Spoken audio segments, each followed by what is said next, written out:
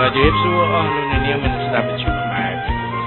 ប្រមាណមិនបាយមិនបាយ3ថ្ងៃនៃឆ្នាំថ្មីក៏បានកន្លងនិងកំពុងតែកន្លងផុតទៅហើយ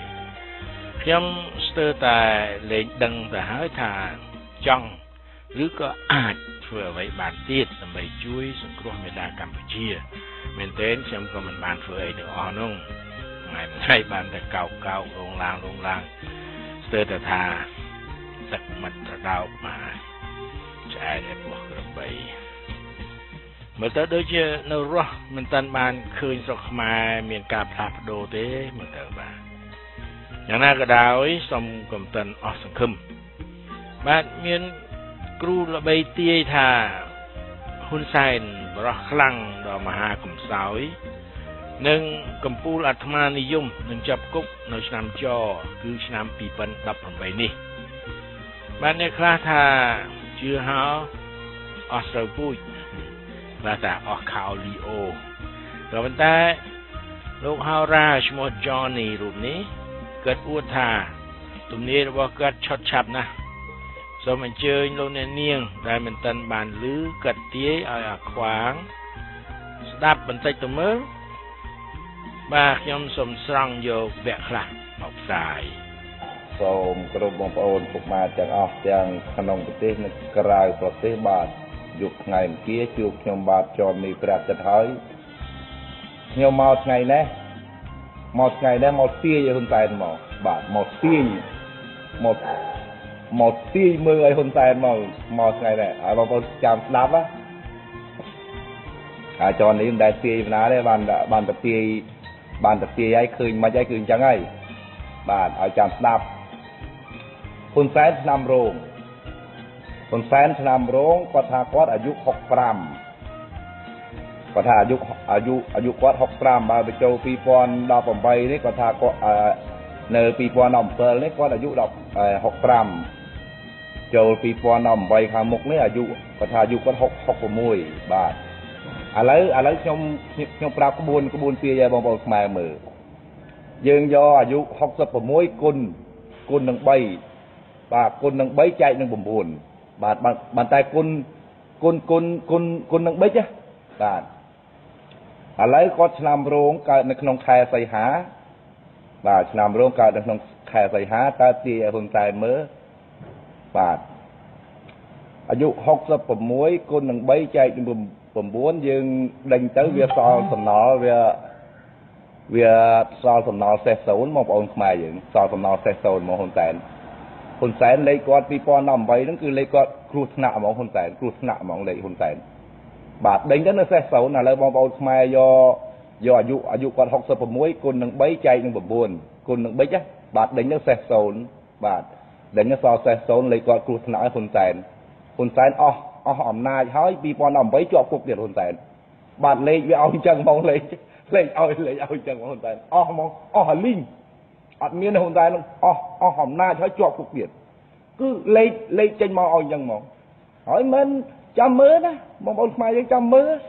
បាទហើយក្បួនទាយនេះចាំមើល2018បាទចាំមើលបាទប្រជាជននេះទីទីខុសបាទនេះដៃស្ដាំដៃស្ដាំទៅគ្រាចវត្តនេះបួសលោកតាំងពី2000តាំងពី1989បាទ 1989ឆ្នាំឯបោះឆ្នោតឆ្នាំ93ខ្ញុំបោះឆ្នោតនៅលោកបាទខ្ញុំខ្ញុំបួសតាំងពី2000 2089បាទហើយឆ្នាំ93ហ្នឹងខ្ញុំបោះខ្ញុំឯខ្ញុំបោះឆ្នោតនៅលោកបោះឆ្នោតរួចខ្ញុំសឹកបាទហើយក្បួនសក្តិវត្តបាទក្បួនសក្តិវត្តគាត់តែអស់អស់លីងមកបងប្អូនខ្មែរយើងមិនបាច់ភ័យអស់លីង អស់អំណាចហើយជាប់គុកទៀតហ៊ុនសែនលេខគាត់អញ្ចឹងហ្មងលេខគាត់អស់សំណឹងហើយទៅហ៊ានដាក់កទៀតអាចរនេះហ៊ានដាក់កទៀតបើជាខបងប្អូនខ្មែរចាំចំណាំមើលចាំចំណាំឃ្លីបឃ្លីបនេះណាអាចរនេះដាក់ដាក់គ្រូដាក់គ្រូទាយថា2018ថាហ៊ុនសែនហ្នឹងបាទហ៊ុនសែនហ្នឹងគឺជាប់គុកឯចំណងជើងខ្ញុំដាក់អញ្ចឹងណាយើងមានពេលដល់ទៅ12ខែសម្រាប់ចាំមើលថាតើ ទំនាយរបស់លោក Johnny ត្រូវឬខុសខ្ញុំបានយកអាយុ66គុណនឹង3ចែកឲ្យ9ឃើញថាបាន22គាត់ឥតមានសេះឥតមានសល់ទោះតិចតួចឡើយគឺសល់សេះស្មើនឹង0បាទលេខសេះហ្នឹងខ្ញុំមិនដឹងថាលេខ3និងលេខ9ហ្នឹងបានមកពីណាទេ ហើយតំណាងឲ្យអ្វីនឹងក៏មិនដឹងដែរតែច្បាស់ជា មានន័យរបស់វាព្រោះថាមនុស្សយើងម្នាក់ម្នាក់ត្រូវយកលេខផ្សេងផ្សេងគ្នា មកគុណនឹងចែកយើងនឹងបានផលខុសគ្នាបាទបើយកលេខដូចគ្នាដដែលនឹងមកប្រើឲ្យតអ្នកណាអាយុ66ឆ្នាំក៏នឹងបានលទ្ធផល22គាត់មិនមានសេះ ឬសេះស្មើនឹង0ដូចគ្នានោះបាទដូច្នេះម្នាក់ម្នាក់ក៏នឹងអស់អំណាចឬក៏ត្រូវចាប់គុកចាប់ច្រវាក់នៅពេលអាយុ66ឆ្នាំដូចគ្នាលោក Johnny ដែលប្រហែលជាជាអ្នកស្រុកឡូប្រុសគាត់បាននិយាយថាធ្លាប់បួសធ្វើជាគ្រូសូត្រស្ដាំរបស់ចៅអធិការវត្តខ្មែរនៅ Lowell រដ្ឋ Massachusetts បានលោកបន្តិចឬក៏លោកហៅ Johnny ទាយបន្តទៀតដូចនេះជាប់គុកមែនមកបងខ្មែរចាំមើលទៅអត់មានខុសទេបាទមិនដែលទាយឯណាទេតែក្បួនចេញមកគឺលេខគាត់អស់យ៉ាងមកលេខគាត់គ្រោះថ្នាក់លេខហ៊ុនសែនគ្រោះថ្នាក់អស់អំណាចអស់អំណាចនៅ2018ហ្នឹងហ្មងអស់អំណាចឲ្យជាប់គុកហ្មងជាប់គុកហើយជាប់គុកជាប់គុកអីស្អីគេហ៊ុនសែនជាប់គុកហ៊ុនសែនជាប់គុកមិនមែនតែជាប់គុកសាលាការ ICC ទេ ជាប់គុកឯសាលាការកូនកាត់សាលាការកូនកាត់នៅក្នុងប្រទេសខ្មែរយើងហ្នឹងបាទសាលាការខ្មែរក្រហមសាលាការកូនកាត់អញ្ចឹងហ៊ុនសែនហ្នឹងគេដាក់គេដាក់ទៅជាមួយឯនួនជាហ្នឹងហ្មងបាទទៅជាប់គុកហ្នឹងទៅជាមួយនួនជាខៀវសុផនហ្នឹងទៅជួបគ្នាគាត់ហ្នឹង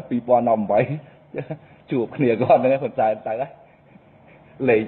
លេខចេញមកអញ្ចឹងមកបងប្អូនខ្មែរយើង100%ហើយអត់មាន99ទេក្បួនទាយចរនេះនេះមិនងាយទាយណាទេ បានតែតែទាយហើយគឺអញ្ចឹងហើយអញ្ចឹងខ្ញុំចាំមើលដែរអត់មើលទៅ2018ចាំមើលទៅអត់ខុសមួយម៉ាត់ទេហ៊ុនសែនគឺលេខគាត់អស់ហ្មងអស់លេខលេខគ្រោះថ្នាក់យើងដេញទៅលេខលេខគាត់នឹងគ្រោះថ្នាក់ហ្មងបាទដល់ដល់តែលេខគ្រោះថ្នាក់ហើយវា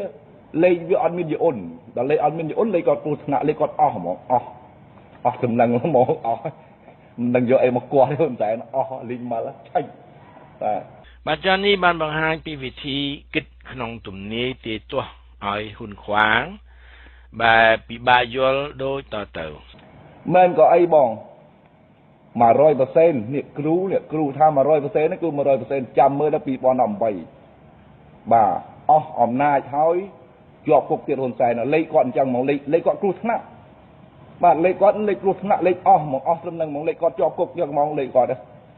ដេញនៅវិញអញ្ចឹងឥឡូវបងប្អូនខ្មែរយើងគុណយកអាយុ66គុណនឹង3ឃើញណាគុណនឹង3ទៅឃើញឃើញឃើញសំណល់ប្រហែលណាយើងគុណយកអាយុ66គុណនឹង3ឃើញប្រហែលយកចែកនឹង9បាទចែកនឹងបិចចែកនឹងបិចបាទឥឡូវចង់មើលចង់មើលខ្ញុំគុណឲ្យមើលចង់មើល66គុណនឹង3 3 3 6ដង18 សរសេរលេខ8ត្រាទុក1 3 6ដង18 18នឹង1 19 100 198ចែកនឹង9ឃើញទេបាទ198ចែកនឹង9យើងកាត់យក2ខ្ទង់បាទយើងកាត់យក2ខ្ទង់19 19វាមាន8ប្រមាណដងបាទ10 19វាមាន8 19 19ចែកនឹងឯ9 ហើយហើយ19វាមានវាយើងយើងយើងយកមកគុណនេះយើងយើងដាក់យើងដាក់2មកបាទ2 2 9ហ្នឹង18ឃើញទេ18មកដក19សល់1បាទមួយចែកនឹងចែកនឹង9អត់បានទេតម្លាក់8បាទវា18បាទហើយ18មានមាន18មានមាន2មាន2មកដង2 9ដង2 9ដង18 18មកដក18វាសល់0លេខគាត់គ្រោះថ្នាក់បាទលេខគ្រោះថ្នាក់ឥឡូវបងប្អូនខ្មែរយើងគុណមើលគុណនឹងបិចណាគុណណា198ចែកនឹង9យកបិចចែកមកកាត់យក2ខ្ទង់បាទចែកនឹង9យើងកាត់យក2ខ្ទង់បាទលេខគាត់អស់ហ្មងអស់ហ្មងហើយ10 យើងកាត់យក2ខ្ទង់ចែកនឹង9អា19មាន9មកដង9 2ដង18 18ដក19សល់1 1ចែកនឹង9មិនបានទេទម្លាក់8បាទ18មាន9មកដង9 2ដង9 2ដង18 18ដក18 0សំណល់វាសល់សំណល់ក៏វាសល់សេះ0សេះ0នេះគឺលេខគ្រោះថ្នាក់លេខហ៊ុនសែននឹងគ្រោះថ្នាក់បាទគ្រោះថ្នាក់មកអស់ហ្មងអំណាចគាត់នឹងអំណាចលួចប្លន់នៅរាជនឹង អំណាចប្លន់គេមកនឹងគឺអស់ហ្មងអស់នៅ2013នឹងអស់ឲ្យជាប់គុកអស់អំណាចនឹងជាប់គុកទៀតលេខលេខគាត់អាលីជំដោយទៅបាទអានឹងប្រាប់ហ្មងអត់ធរឯងប្រាប់ក្បួនឲ្យចែកប្រាប់ក្បួនឲ្យចែកទីក្បួនចែកគេក្បួនទីតើតែយើងចេះក្បួនវាបានយើងទីចេញទៅកើតបាទបើយើងអត់ចេះក្បួននឹងទីយើងយើងអត់យើងអត់ចេះថាទេបាទអញ្ចឹងអ្វីអ្វីវាមានក្បួនវាមានក្បួនទីបាទគ្រាន់តែថាក្បួនមួយឆុតមិនឆុត បាទតែក្បួនអាចរនេះនេះទាហ៊ុនសែននេះទៅ100ផ្សេងនេះគ្មានខុសទេ100ស៊ីមរៀលទេណាមកណាភ្នល់មួយចរនេះហ៊ុនសែន2018បាទចរនេះចាញ់ឲ្យ100ដុល្លារ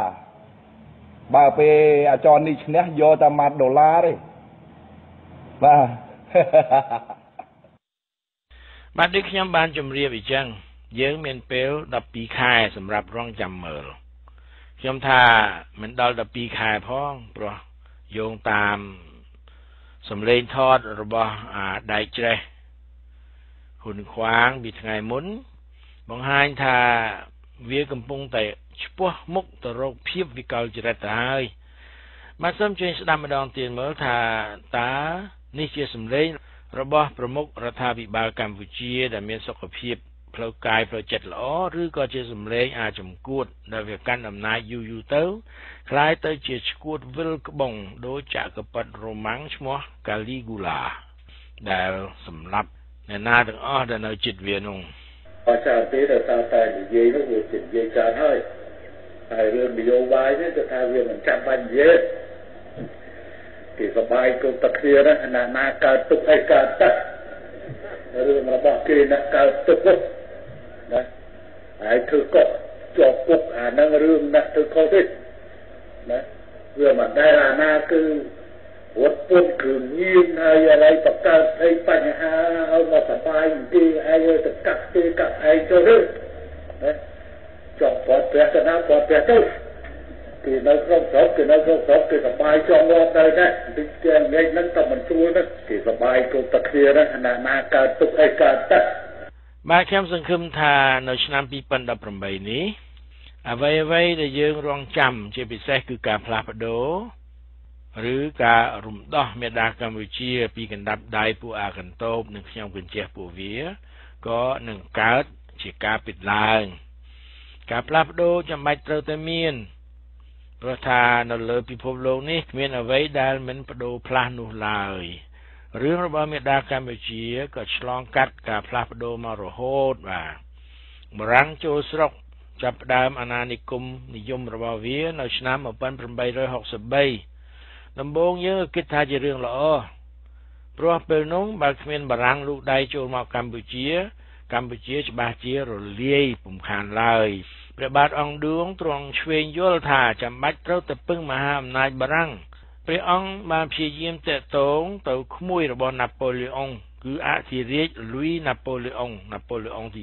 3ព្រោះសៀមកំពុងតែអង្គាមយកទឹកដីខ្មែរពីខាងលិចនិងយួនច្បាមយកដែនដីខ្មែរពីខាងកើតក៏ទៅនៅក្នុងរាជព្រះបាទនរោត្តមទៅបារាំងចូលមកដល់កម្ពុជា ហើយខ្មែរក៏ស្គាល់រិទ្ធនៃការជិះចិនរបស់ពួកអាបារាំងបរោចៅអបឡា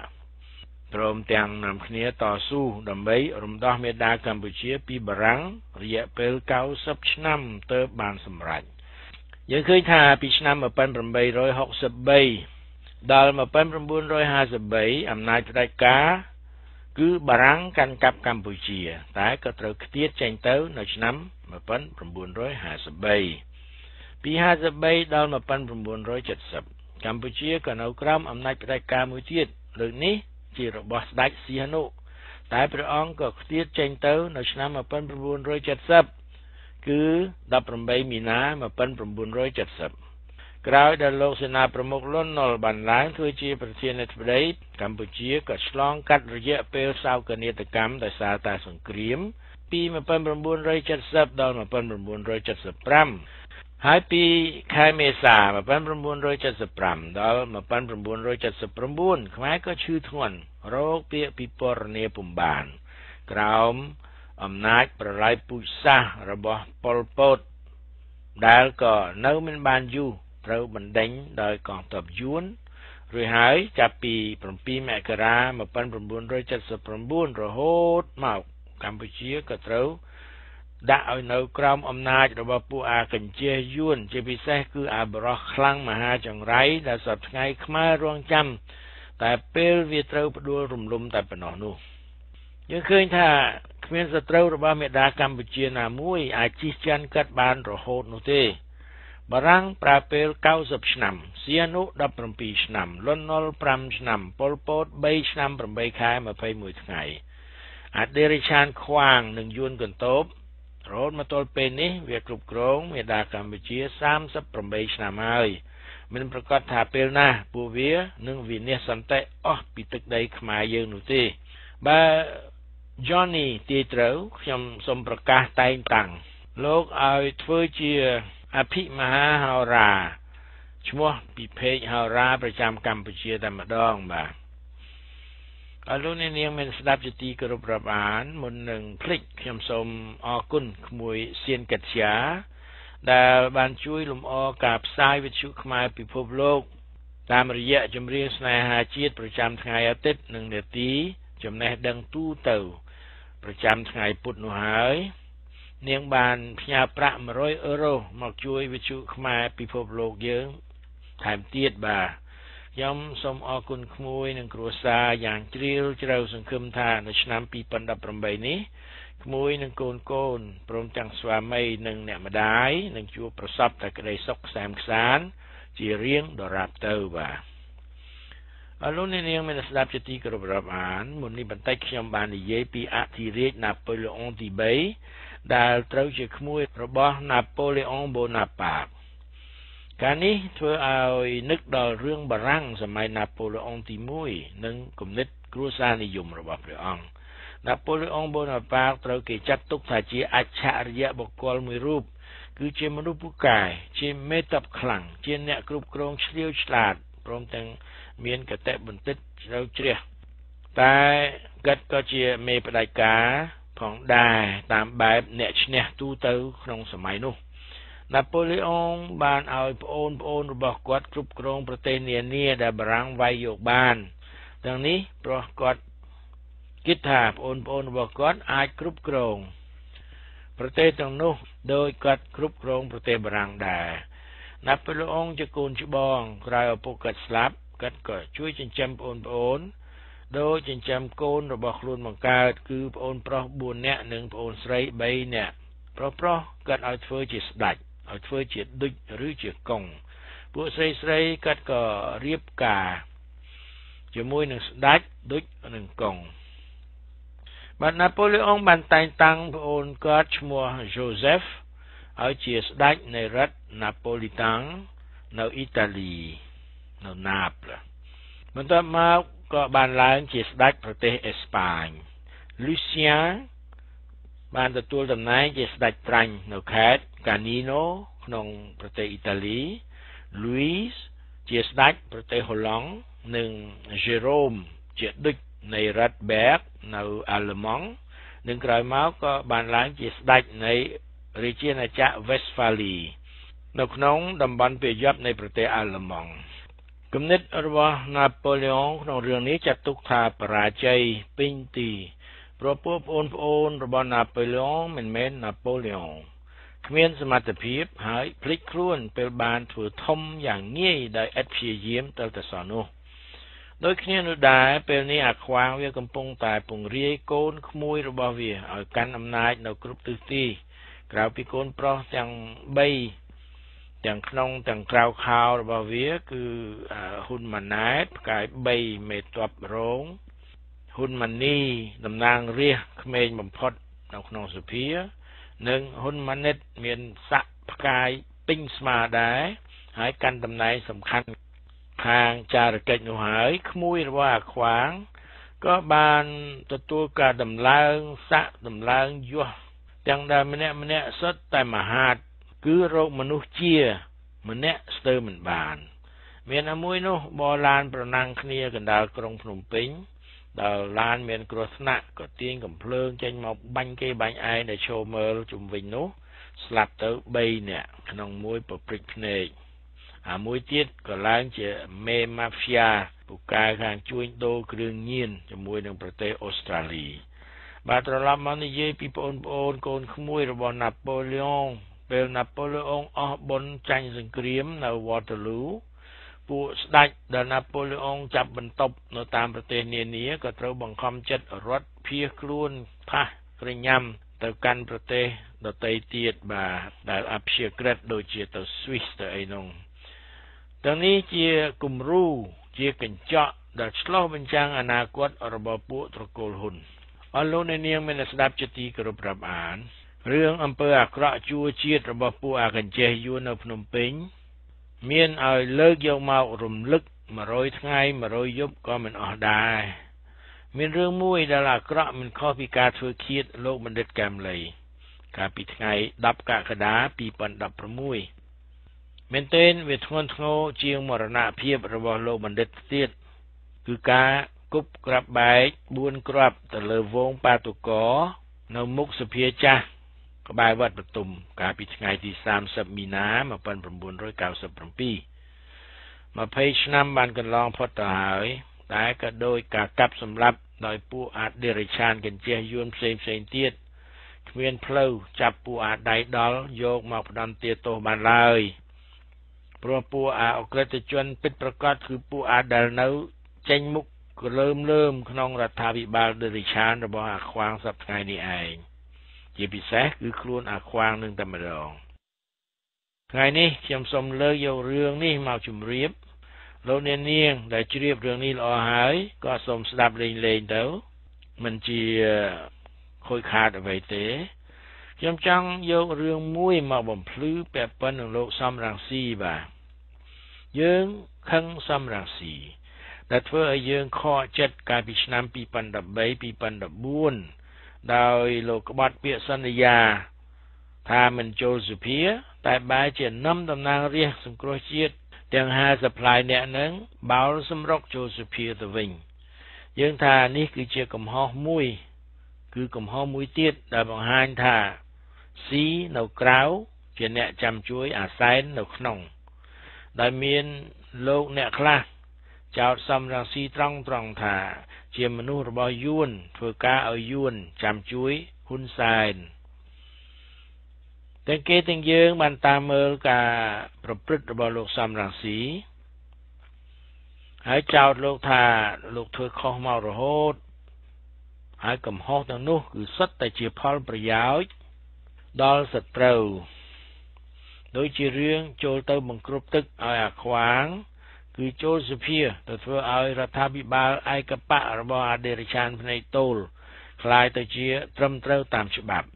រឿងនេះខ្មែរអ្នកជាច្រើនអ្នកណាស់ដែលមិនអាចត្រឹមឈិនឆៃឬលើកលែងទោសឲ្យបាននោះព្រោះមុននោះកាលពីឆ្នាំ2005លោកសំរាស៊ីក៏បានចូលមកជួយធ្វើវិសោធនកម្មរដ្ឋធម្មនុញ្ញបដូរការបង្កើតរដ្ឋាភិបាលពីសម្លេង2ភាគ3 មកជា50%បូក1រឿងនេះមិនដឹងជាល្ងងដោយអាខ្វាងវាថាឲ្យ ឬក៏ជាល្បិចរបស់យួនក្នុងការសម្រួល ការបង្កើតរដ្ឋាភិបាលក្រោយការបោះឆ្នោតក៏មិនដឹងបាទសូមទោសខ្ញុំឆ្កែខំជើងខ្ញុំមិនខំជើងឆ្កែទេក៏ប៉ុន្តែខ្ញុំយកជើងតត់ឆ្កែមកហើយចាំដាក់បា ហើយកាលហ្នឹងសូមបញ្ជាក់ទៅឌឺឲ្យបន្តិចផងស្ទើភ្លើងជានយោបាយលើកលែងទោសឲ្យពេលហ្នឹងឲ្យមកជួយកែរដ្ឋធម្មនុញ្ញនេះបងប្រុសនេះតែថាបើស្គាល់ហ៊ុនសែនច្បាស់ទេរៀនស្គាល់បន្ថែមទៀតអ្នកដែលលើកអំណាចជូនគណៈបកប្រជាជនដោយដៃទាំងពីរ គឺគណៈបកប្រឆាំងជួយកែរដ្ឋធម្មនុញ្ញពីការបង្កើតរដ្ឋាភិបាលដោយចម្លែង2ភាគ3មក50បូក1ស៊ីដាច់ពិតតទេស្លាយយកទៅ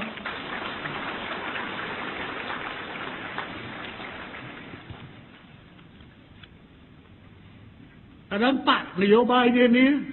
បើចង់ជេរជេរបកប្រឆាំងទៅអីក៏លងងម៉េះបើទុក2ភាគ3តថ្លៃលៀនណា ឯងមានដល់ទៅ64 60%បង្កើតរដ្ឋាភិបាលអត់បាន73ក៏អីបង្កើតរដ្ឋាភិបាលបានទាំងមួយឆ្នាំ98ឆ្នាំ98យើងមានដូចជា53 53 54%យើងបង្កើតរដ្ឋាភិបាលអត់បាន2003ឡើង60% ពី64កៅអីមក73កៅអីក្នុងចំណោម100 23បង្កើតរដ្ឋាភិបាលអត់បានតថ្លៃគៀមឆ្អឹងនៅនឹងចេះប្រើណាស់ប្រព័ន្ធ2ភាគ3អញ្ចឹងទេនិយាយតាមបែបគេពងៀនអញ្ចឹងដែរចង់បានតបោះឆ្នោតហើយគេទៅរួមគ្នា ដល់យើងតថ្លៃបន្តិចទៅឲ្យច្រើនបន្តិចទៅមកម្ដងជាពីរដងអេធ្វើម្ដងហ្នឹងធ្វើឲ្យជាប់ហ្មងហើយក៏ធ្វើឲ្យសន្តិរបៀបបបប្រទេសដែរកុំឲ្យបោះឆ្នោតឲ្យវាកៀងបោះឆ្នោតឲ្យវាកៀងហើយចាំទៅឥឡូវនេះគណៈបកប្រជាជនកំពុងគ្រប់គ្រងជាង2ភាគ3ខ្ញុំនិយាយពីធ្លាប់បាននិយាយខ្ញុំនិយាយពីកុំនិយាយពីឡើងកៅអី និយាយពីចុះវិញចុះមកអាណត្តិ10កៅអីលោកឯងចាំធ្វើនាយករដ្ឋមន្ត្រីទៅ2013ថាឲ្យចុះ10កៅអីចុះមិនបាច់ថាឡើងនៅសល់80ក៏ឈ្នះដល់2018ឲ្យចុះ10កៅអីទៀតសល់70កៅអីក៏ឈ្នះអញ្ចឹងលោកឯងដេកចាំធ្វើនាយករដ្ឋមន្ត្រីទៅព្រឹត្តិការណ៍ពីររឿងខាងលើ ធ្វើឲ្យយើងជឿកាន់តែខ្លាំងថាលោកសំរងស៊ីជាតួអង្គដែលគេបង្កើតមកសម្រាប់សម្រួលការគ្រប់គ្រងកម្ពុជារបស់ពួកអាកញ្ចេះយួនតើរឿងនេះមែនឬមិនមែនបាទវានៅលើសុភនិច្ឆ័យរបស់អស់លោកអ្នកនាងគួរឲ្យអាណិតលោកសំរងស៊ីមែនទេនោះលោកបានចំណាយ20ផ្លាយជិត30ឆ្នាំជីវិតរបស់លោកនៅលើនឹងក្រៅឆាកនយោបាយកម្ពុជាយ៉ាងណាក៏ដោយ មានរឿងមួយទៀតដែលធ្វើឲ្យអ្នកដែលធ្លាប់គ្រប់គ្រងលោកសំរងស៊ីគេខកចិត្តមួយចំនួនធំខ្លះក៏ចោទថាលោកបានទទួលលុយកាក់ពីអាខ្វាងឲ្យលុបចោលបណ្ដឹងដែលលោកបានប្តឹងហ៊ុនសែនពីរឿងគប់ក្របបែកនៅមុខសភាចាស់ក្បែរវត្តបទុមនោះ ដែលបណ្ដាលឲ្យស្លាប់មនុស្សមួយចំនួន ហើយរបួសដល់ទៅជាង100នាក់ ពេលនោះនៅឆ្នាំ2005អាខ្វាង វាទៅក្រុងញូវយ៉កវាទៅបូរីញូវយ៉កដើម្បីចូលរួមមហាសន្និបាតអង្គការសហប្រជាជាតិមានដំណឹងឲ្យដឹងថាលោកសំរងស៊ីបានប្តឹងទៅសាលាក្តីសហព័ន្ធនៅក្រុងញូវយ៉កធ្វើឲ្យអាខ្វាងស្លន់ស្លោយ៉ាងខ្លាំងខ្ញុំទៅដល់ញូវយ៉កតើគេប្តឹងខ្ញុំនៅសាលាការនៅញូវយ៉កហើយ អូយហើយត្រឡប់មកវិញថាគេថាលើកនេះបើលោកហ៊ុនសែនលុតជង្គង់អង្គរក៏មិនព្រមដែរសុំទោសអ្នកណាលុតជង្គង់អង្វរណាតែទីបំផុតយោងតាមដំណឹងគេថាលោកសំរាស៊ីបានដកពាក្យបណ្ដឹងទៅវិញរឿងនេះបានធ្វើឲ្យប្រជាប្រិយភាពរបស់លោកសំរាស៊ីធ្លាក់ចុះមួយកណ្ដាក់ ខ្ញុំគ្មានបំណងចង់លើកឬដាក់ប្រជាប្រិយភាពរបស់អ្នកនយោបាយណាមួយនោះទេអ្វីដែលខ្ញុំចង់ធ្វើគឺចង់និយាយការពិតបើសំរងស៊ីខុសយើងក៏ថាគាត់ខុសតែបើយើងដឹងថាគាត់មិនខុសទេយើងក៏គួរតែរាយការណ៍ឲ្យដឹងថាមិនខុសទេរឿងនេះបាទរឿងដកពាក្យបណ្ដឹងពីតុលាការក្រុងញូវយ៉កនេះនៅមានបងប្អូនខ្មែរជាច្រើនមិនយល់ឬតែគេនិយាយមកខាងមកខាង បណ្ដឹងនេះលោកសំរងស៊ីម្នាក់ឯងគ្មានសិទ្ធិទៅប្តឹងនៅតុលាការអាមេរិកនោះឡើយព្រោះអ្វីព្រោះលោកមិនមែនជនជាតិឬមនុស្សមានសញ្ជាតិអាមេរិកាំងបើអញ្ចឹងតើអ្នកណាជាអ្នកប្តឹងទៅវិញបាទខ្ញុំសូមលើកយកអត្ថបទរបស់កាសែតមនសិការខ្មែរនៅខែមេសា2007មកអានជូនស្ដាប់ពាក់ព័ន្ធនឹងការដកពាក្យបណ្ដឹង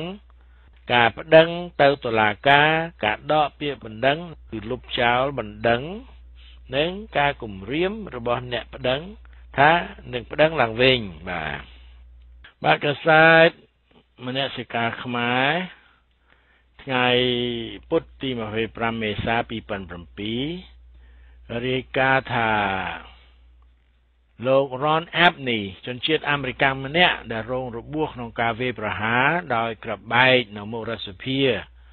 នៅថ្ងៃទី30មីនាឆ្នាំ1997បានត្រូវអ្នកសង្កេតការភាគច្រើនចាត់ទុកថាជាអ្នករួមចំណែកធំធេងក្នុងការរក្សាសន្តិភាពនិងលើកកម្ពស់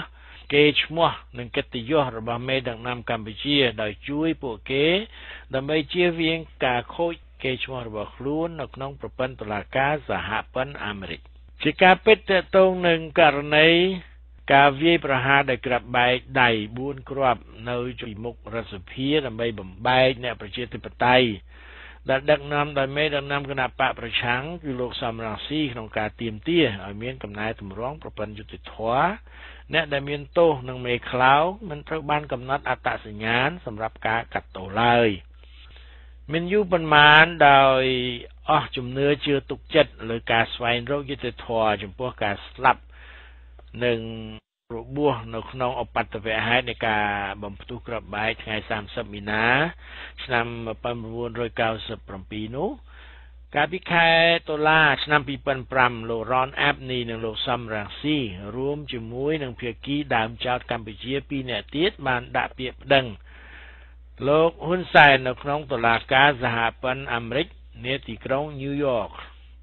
តើតើនឹងដំណើរការនៃការប្តឹងនាយករដ្ឋមន្ត្រីហ៊ុនសែននៅតុលាការសហព័ន្ធអាមេរិកកាលពីឆ្នាំ2005លោករ៉នអាប់នីបានបញ្យល់លំអិតថាករណីនេះគឺផ្អែកទៅលើច្បាប់ដែលហៅថា Alien Tort Law គឺច្បាប់ការពារជនជាតិអាមេរិកនៅបរទេសបាទដែលខ្ញុំជាដើមមិនដឹងក្នុងនាមជាពលរដ្ឋអាមេរិក ដែលត្រូវវាយប្រហារនៅក្រៅប្រទេសខ្ញុំមានសិទ្ធិប្រើច្បាប់នេះដើម្បីនាំយករឿងក្តីនេះទៅកាន់តុលាការសហរដ្ឋអាមេរិកអាចប្តឹងទៅតុលាការអាមេរិកបានលោករ៉នអាមនេះបានបន្តបញ្យល់ដល់ប្រព័ន្ធផ្សព្វផ្សាយថាលោកសំរងស៊ីក៏បានចូលរួមជាមួយខ្ញុំយើងប្តឹងរួមគ្នាជាមួយប្រជាពលរដ្ឋខ្មែរពីរនាក់ផ្សេងទៀតប៉ុន្តែនេះពិតជាគំនិតរបស់ខ្ញុំដូច្នេះខ្ញុំសូមជូនដំណឹងដល់អ្នកថា រឿងនេះមិនទាន់ចប់នៅឡើយទេករណីនេះមិនទាន់ត្រូវបានបិទនៅឡើយជនជាតិអាមេរិករូបនេះបាននិយាយដោយសង្កត់ធ្ងន់ថាខ្ញុំបានសម្រេចចិត្តដកពាក្យបណ្ដឹងប្រឆាំងនឹងហ៊ុនសែនព្រោះខ្ញុំជឿជាក់ថាសំរាស៊ីនឹងត្រូវគេសម្លាប់ប្រសិនបើខ្ញុំមិនលុបចោលបណ្ដឹងមួយនេះទេលោករ៉ាន់បាននេះបាននិយាយត្រង់ត្រង់ថាចាត់តាំងពីលោកសំរាស៊ីបានចូលរួមដាក់ពាក្យបណ្ដឹងប្រឆាំងនឹងបរិះខ្លាំង គឺលោកនាយករដ្ឋមន្ត្រីហ៊ុនសែនខ្ញុំជឿថាលោកសំរងស៊ីនឹងមិនបានទទួលការអនុញ្ញាតឲ្យវិលត្រឡប់ទៅកាន់ប្រទេសកម្ពុជាវិញឡើយបើគិតមិនដកពាក្យបណ្ដឹងនោះទេ មានគេប្រាប់ខ្ញុំផងដែរថាជីវិតរបស់លោកកឹមសុខាក៏អាចស្ថិតនៅក្នុងស្ថានភាពគ្រោះថ្នាក់ផងដែរគឺដោយសារតែមូលហេតុទាំងអស់នេះដែលករណីនេះបានคล้ายទៅជា អ្វីដូចសពថ្ងៃនេះ បានន័យថាយើងដកពាក្យបណ្ដឹងនឹងនេះមានន័យថាដើម្បីឲ្យមានសម្លេងប្រឆាំងនៅក្នុងប្រទេសកម្ពុជាដោយអនុលោមតាមគោលការណ៍ប្រជាធិបតេយ្យលោកហ៊ុនសែនត្រូវតែផ្លាស់ប្ដូរអាកប្បកិរិយារបស់គាត់មួយរយៈពេលទោះជាយ៉ាងណាក៏ដោយដោយសារតែថ្មីថ្មីនេះហ៊ុនសែនបានធ្វើបាបគណៈបកប្រឆាំងម្ដងទៀតលោករ៉នអាំនីបានបង្ហាញពីទស្សនៈផ្ទាល់ខ្លួនរបស់គាត់ថាបើសិនជាលោកនាយករដ្ឋមន្ត្រីនិយាយដូច្នេះ ដោយច្បាប់ហើយខ្ញុំមិនទាន់បានដាក់ពាក្យបណ្ដឹងរបស់ខ្ញុំទេដូច្នេះខ្ញុំអាចពិនិត្យឡើងវិញនិងបន្តរឿងក្តីនេះលោករ៉ានអាំនីបាននិយាយថានេះគ្រាន់តែជាការពន្យាពេលនៃពាក្យបណ្ដឹងដែលមិនមែនការខាតបង់ចំពោះតម្រូវការណាមួយនោះទេ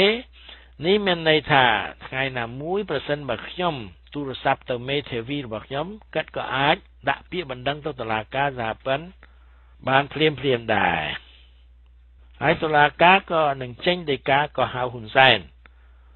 ដូច្នេះសូមជម្រាបថាពាក្យបណ្ដឹងនេះនៅរស់រានមានជីវិតនៅឡើយទន្ទឹមនឹងនេះដែរមេធាវីការពារលោករ៉នអាប់នីបាននិយាយថាការសម្រេចចិត្តលុបចោលការចោតប្រកាន់នឹងធ្វើឲ្យលោកភ្ញាក់ផ្អើលព្រោះគ្មាននរណាម្នាក់ផ្ដល់ឲ្យគាត់នៅព័ត៌មានពីមុននោះទេ ទៅតែនឹងដឹងគឺ24ម៉ោងបន្តមកទៀតលោកសំរងស៊ីក៏បានវិលត្រឡប់មកកម្ពុជាវិញតែលោករ៉ាន់អាប់នីបានប្រាប់លោកមេធាវីថាលោកនៅតែប្តឹងហ៊ុនសែនហើយក្នុងរយៈពេល10នាទីករណីនេះនឹងក្លាយទៅជារឿងថ្មីប្រសិនបើខ្ញុំចង់បានខ្ញុំអាចធ្វើវាបានប្រសិនបើខ្ញុំចង់ធ្វើយ៉ាងណាក៏ដោយលោករ៉ាន់អាប់នីបានទទួលមរណភាពទៅហើយ កាលពីខែធ្នូឆ្នាំ2011គឺ 4ឆ្នាំក្រោយមកលោកបានចាក់ឋាននេះនៅឯរដ្ឋ Georgia ពេលអាយុបាន70ឆ្នាំ ហើយក៏ស្លាប់ដោយជំងឺបេះដូងគឺក្រោយដែលធ្វើការវះកាត់បេះដូងជាលើកទី2ដូច្នេះកាលបើដើមមិនដឹងស្លាប់ទៅហើយរឿងចង់ប្តឹងហ៊ុនសែនឲ្យទៅតុលាការអាមេរិកកាំងឯនឹងឃើញថាចប់បាទចប់ ជារឿងចម្លែកដែលខ្មែរអាមេរិកកាំងមួយចំនួនពុំសូវហ៊ានប្រើសញ្ជាតិអាមេរិកកាំងរបស់ខ្លួនក្នុងការរក្សាសិទ្ធិនិងសេរីភាពរបស់ខ្លួននៅបរទេសដូចជានៅកម្ពុជាជាដើមខ្ញុំសំលើកឧទាហរណ៍លោកញយចម្រើនដែលជាតំណាងរាស្ត្រនៅស្រុកខ្មែរលោកបានត្រូវពួកបាតដៃទី3របស់អាខ្វាងវេដំច្រំធាក់មានសាកសីពេញមួយនគរ តែ FBI អេតអើពើតលតែសោះខណៈដែល Ron Abney ត្រូវរបួសកំពះគូតពីបំណែកក្របបែកតែបន្តិចអាមេរិកកាំងក៏បញ្ជូន FBI ទៅស៊ើបអង្កេតគ្រាន់តែពេលនោះវាមានបញ្ហានយោបាយបាទគឺខាងសហរដ្ឋអាមេរិកកំពុងតែយកចិត្តកម្ពុជាយកចិត្តអាខ្វាងថាអញ្ចឹងទៅចោះពាក់ព័ន្ធនឹងរឿង terrorist បាទរឿងភេរវកម្មគេក៏ ឲ្យលោកឯកអគ្គរដ្ឋទូត Kenneth Quinn Bedmont FBI បាទបញ្ជា FBI ចេញពីប្រទេសឈប់ធ្វើការស៊ើបអង្កេតតទៅទៀតហើយគេក៏ទម្លាក់រឿងនឹងមកមែនតើនោះនឹងខាងរដ្ឋាភិបាលអាមេរិកកាំងពួកនឹងគេឃើញថារឿង terrorist នឹងវាធំជាងជីវិតមនុស្ស6នាក់ដែលស្លាប់ហើយនឹង100ផ្លាយនាក់ទៀតដែលរងរបួសដោយសារតែអំពើ អក្រិតរបស់អាខ្វាងព្រោះរឿងនេះយើងដឹងខាង FBI បានស៊ើបអង្កេតបានពាក់កណ្ដាលទៅហើយជាងពាក់កណ្ដាលស្ទើរថាសរុបសេចក្តីទៅហើយដែរដឹងថាពួកអាហ៊ីងប៊ុនហៀងបាទដែលជាមេអង្គរៈរបស់អាខ្វាងនឹងជាអ្នកធ្វើបាទមានការបញ្ជាឲ្យកងឯកភាពអឺ70 បាទងោ70ឬអឺ70 ហ្នឹង ចូលទៅការពារនៅកន្លែងនោះដើម្បីការពារអ្នកដែលទៅគប់ក្របបែកមិនមែនការពារអ្នកស្រុកទេបាទរឿងនេះវាវែងឆ្ងាយដូច្នេះខ្ញុំលើករឿងនេះមកជម្រាបគ្រាន់តែចង់បំភ្លឺថាការដកបណ្ដឹងមិនមែនលោកសំរងស៊ីដកទេគឺលោករ៉នអាប់នីហើយហេតុផលគាត់បានឲ្យហើយថាបើគាត់មិនដកខ្វាងវាច្បាស់ជានឹងសម្លាប់លោកសំរងស៊ីលោកកឹមសុខាហើយគ្មាន គណៈបកប្រឆាំងនៅកម្ពុជាឡើយដូច្នេះគេក៏ព្រមដកខ្ញុំក៏មិនដឹងថាជាហេតុផលគ្រប់គ្រាន់ឬមិនមែនទេ តែរឿងវាអញ្ចឹងបាទបាទត្រឡប់មកនិយាយពីរឿងខ្មែរសញ្ជាតិអឺអាមេរិកកាំងហើយខ្ញុំបានលើកឧទាហរណ៍លោកញយចម្រើនខ្ញុំថាលោកញយចម្រើនក៏មានសិទ្ធដោយលោករ៉នអាប់នេះដែរគឺគេមិនអាចរើអើងពូជសាសន៍ពណ៌សម្បុរបានទេពាក់ព័ន្ធនឹង ការអនុវត្តច្បាប់ ច្បាប់គឺច្បាប់មិនមែនប្រើបានសម្រាប់តែអាមេរិកកាំងស្បែកសតែស្បែកលឿងហើយចង់ស្លាប់យ៉ាងណាអញ្ជើញទៅចោះតែយើងមិនហ៊ានទៅរកគេមកអំពីស្អីមិនដឹងទេមកពី complex inferiority មិនហ៊ានហើបមាត់និយាយឬក៏មិនមានលុយជួលពួកមេធាវីអារឿងហ្នឹងក៏ជារឿងមួយផ្សេងទៀតបាទតែនឹងជួលឬមិនជួលបើសិនជាច្បាប់វាមានអញ្ចឹងទៅហើយគេក៏គួរតែអនុវត្តច្បាប់ សម័យ Ron Abney មិនได้ក៏គេស្ទុះស្ទីលហាមឡេះព្រោះតែ Ron Abney ធ្វើការឲ្យ IRI International Republican Institute បាទជាអង្គការដែលរដ្ឋាភិបាលអាមេរិកគ្រប់គ្រងមែនទែនខ្ញុំនិយាយនេះក៏ចេះតែនិយាយនិយាយទៅទេព្រោះខ្ញុំមិនដឹងសេចក្តីលំអិតរបស់លោកញយចម្រើនបាទមិនដឹងថាញយចម្រើនជាអាមេរិកាំងដូចខ្ញុំដែរឬក៏ជាមនុស្សខុសច្បាប់បើលោកជាខ្មែរអាមេរិកាំង ខ្ញុំក៏មិនគិតថាការទៅធ្វើនយោបាយនៅស្រុកខ្មែរដើម្បីលទ្ធិប្រជាធិបតេយ្យនឹងត្រូវដកហូតសិទ្ធិជាប្រជាពលរដ្ឋអាមេរិកាំងក្រវែងចោលនោះទេលើលែងតែយើងនៅស្ងៀមស្ងៀមមិនប្តឹងគេមិនរកមេធាវីមកជួយលើកយកច្បាប់ Alien Tort Law នេះមកអនុវត្តអា Alien Tort Law គឺច្បាប់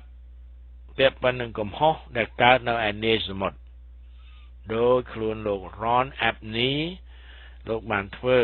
បាននិយាយពីអនាគតរបស់ខ្វាគិតគិតទៅក៏គួរតែជឿលោក Hara Johnny ផងដែរព្រោះអ្វីៗទាំងអស់តែងតែមានទីបញ្ចប់របស់វាបាទដោយស្ថានភាពនៅប្រទេសអ៊ីរ៉ង់កាលណាវាទុំចូលវាក៏នឹងផ្ទុះឡើងជាការតវ៉ាប្រឆាំងការធ្វើបាតុកម្មពេញផ្លូវថ្នល់តាមទីក្រុងផ្សេងផ្សេង អាខ្វាងបានគៀបសង្កត់ប្រជាពលរដ្ឋកម្ពុជាអិតស្រាស្រានដល់ថ្ងៃមួយខ្មែរក៏ទ្រាំលេងបានបាទហើយក៏នឹងនាំគ្នាក្រោកឡើងដោយប្រជាពលរដ្ឋនៅប្រទេសអ៊ីរ៉ង់មានថាត្រូវកងកម្លាំងរដ្ឋាភិបាលបង្ក្រាបយ៉ាងណាក៏ដោយបាទក្នុងការបះបោរជិតមួយសប្តាហ៍កន្លងមកនេះនៅអាតេរ៉ង់និងនៅក្រុងផ្សេងផ្សេងទៀតនៅប្រទេសអ៊ីរ៉ង់នឹងមានមនុស្សស្លាប់21នាក់ហើយក្នុងនោះ រួមមានប៉ូលីសម្នាក់ផង ហើយបាតកោត្រូវចាប់ទាំងអស់450នាក់បាទបាតកម្មនៅតែបន្តធ្វើតទៅទៀតប្រឆាំងនឹងប្រធានាធិបតីរ៉ាហ៊ូនី ដែលត្រូវចោទថាអសមត្ថភាពនិងពុករលួយបាទអរលោកនាងមានស្ដាប់ពីទីគ្រប់រាប់អានពីនេះពីនោះថ្ងៃនេះសូមអេវ៉ាំងតែប៉ុណ្ណេះចុះចំពោះលោកសំរងស៊ីថ្មីបើយើងឈិនឆៃមិនមិនចាត់ទុក ថាជាកំហុសរបស់លោកក្នុងការដកពាក្យបណ្ដឹងប្រឆាំងនឹងអាខ្វាងនៅតុលាការញូវយ៉កតែលោកក៏គួរតែធ្វើខ្លួនឲ្យគួរជាទីទុកចិត្តរបស់ប្រជាពលរដ្ឋផងបាទបើនៅតែមិនច្បាស់គេក៏នៅតែប្រឆាំងនឹងលោកបាទបាទនិយាយចុះនិយាយឡើងក៏ត្រឡប់មកទៅរករឿងលោកសំរងស៊ីដដែលនេះហើយក្នុង បទសម្ភាសរបស់លោកហងចក្រាបារមីជាមួយនឹងលោកអុកណារ៉េតដែលខ្ញុំយកមកចាក់ជូនលោកនាងស្ដាប់ក៏មានការវាយប្រហារលោកសំរងស៊ីតាមទៀតដែរបាទរឿងនេះអឺលោកអ្នកនាងគិតខ្លួនឯងទៅចោះបាទថាអ្វីជាអ្វីពិតប្រាកដនោះបាទថ្ងៃនេះសូមអេវ៉ាំងនៅប៉ុណ្ណេះចុះសូម